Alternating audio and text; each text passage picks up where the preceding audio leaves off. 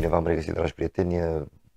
Vreau să vorbesc în acest clip despre un uh, alt lucru care oricare dintre noi poate să-l facă dacă are inimă bună și dacă este uh, voitor și, bineînțeles, dacă are posibilitatea, dar sunt sigur că în cel mai rău caz fiecare dintre voi are posibilitatea să, zic eu așa, să doneze măcar o pâine sau uh, o sticlă cu apă. Ei bine, vorbesc despre acei oameni din uh, Ucraina care sunt uh, refugiați și care pleacă de acolo și se ascund și se duc din calea războiului și vin să se adăpostească în țări cum ar fi România sau Germania sau oriunde unde se află în siguranță. Noi când am plecat din Germania, să știți, uh,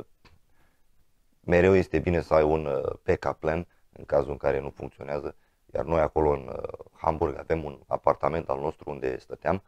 și să știți că am decis pe parcursul, la tot timpul ăsta cât o să fim uh, plecați pentru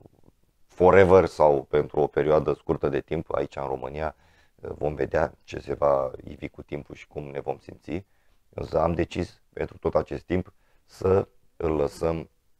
uh, unor ucrainieni pe care i-am găzduit la noi acasă și am oferit acest lucru uh, fără cost, deci i-am oferit gratis acel loc. Deci, uh, după cum am spus, fiecare dintre noi poate să ajute, poate să facă un lucru bun, pentru că imaginați-vă, imaginează tu ca femeie să pleci din uh, Ucraina sau să pleci de acasă, de la locul tău, de oriunde ai fi, cu un copil mic după tine și imaginează cât de greu ți este și prin ce greutăți uh, o să treci și ce vei întâmpina de-a lungul timpului și de-a lungul drumului. Ca să nu mai zicem că toți oamenii ăștia, mulți dintre ei, Uh, pleacă doar cu o poșetuță după ei sau un rucsăcel sau cu un lucru care le iau pe fugă și nici măcar n-au cu ei uh, provizie dacă aș putea. Gândiți-vă cum v-ați simți și ce feeling ați avea dacă vi s-ar oferi o mână de ajutor atunci când chiar ai nevoie de ea. O mână sinceră, o mână caldă care să te ajute, să te susțină și să îți ofere măcar o alinare Uh, sufletească, dacă nu financiară, pentru un moment. Cu acest clip doresc să fac un uh, apel la toată lumea care are posibilitatea să ajute,